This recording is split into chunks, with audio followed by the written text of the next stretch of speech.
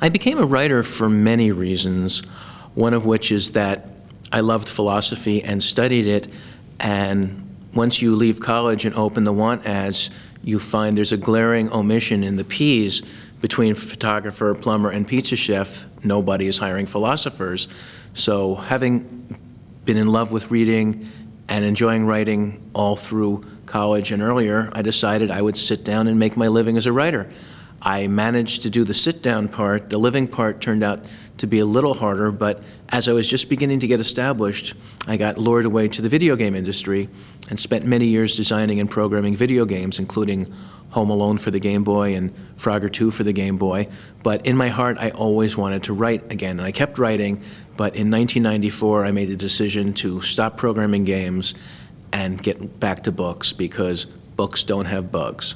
Books don't freeze and hang books are eternal. If you look for one of my games that is five years old, you won't find it anywhere other than a flea market. If you look for one of my books that is 10 years old, it will be on the shelves. And that's one of the many reasons that I prefer writing books. The best piece of advice I can give to anybody who wants to write is one simple statement. Writers don't pay, writers get paid. So many people want to write, so many people want to get published, that there are scammers out there. It's the same with anything where there is a lot of desire. A lot of people want to be models, so there are places that will scam you and pretend to treat, teach you to be a model. It's the same with many different things. Number one, you do not pay people to get pu publish your book. You do not pay them to set it in print unless you know exactly what you're doing and you're doing a small printing just for yourself and your friends. If your story is good enough for people to buy, it is good enough for people to pay you for it. The other advice I can give for, for young readers who want to be writers, read broadly, read a lot of different things. Don't just read. If you're reading a book and it stinks, you can't just say this book stinks and throw it out the window. You have to say, why does it stink? Go back and find what is wrong with this book. Why are you not enjoying it? If a book is great, you can't just say, oh, I love this book. You need to go back and find how did he do this magic trick? How did this writer weave this illusion? How did he suck me in? This is what you need to do if you want to write. If you're stuck and you're trying to come up with ideas, bear in mind that you don't need to think up a whole idea all at once. You can look for an interesting title that inspires a story. You can look for an interesting opening line that makes you think of the next line, that makes you wonder what happened next. I have a story called The Evil Tree, and I wrote it because I wrote one sentence.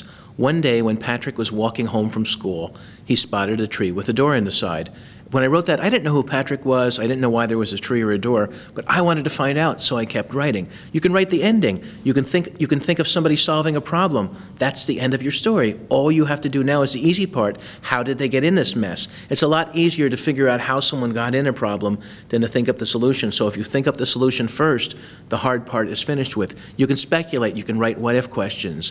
What if I found found $1,000? What if a spaceship landed in my backyard?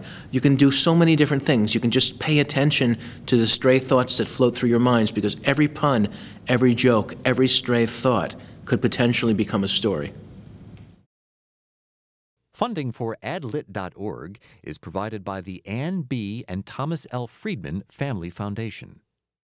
For more information on adolescent literacy, please visit us online at www.adlit.org.